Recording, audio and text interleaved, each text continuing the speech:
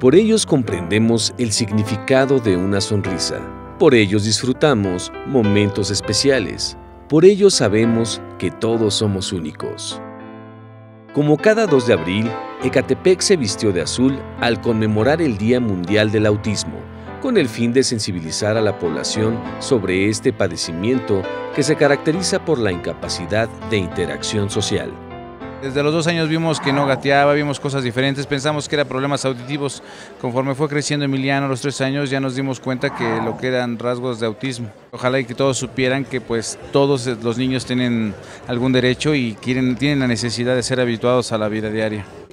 El Centro de Autismo Teletón en Ecatepec fue sede de tan emotivo evento, al que asistieron el gobernador mexiquense Erubiel Ávila Villegas y el presidente municipal Pablo Bedoya López, acompañado de su esposa, la presidenta del DIF municipal, Verónica Guiscafré.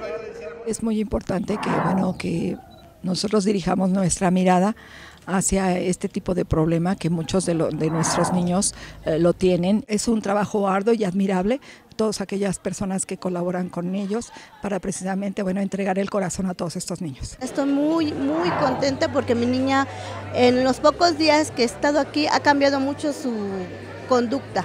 Le están dando terapias, le están ayudando con su conducta principalmente. El autismo es una discapacidad permanente que se manifiesta en los tres primeros años de edad. Afecta el modo en que una persona interpreta su entorno. Existen terapias de comunicación, aprendizaje, habilidades de vida diaria y autocuidado, con lo que se promueve la independencia de los pacientes. Yeah.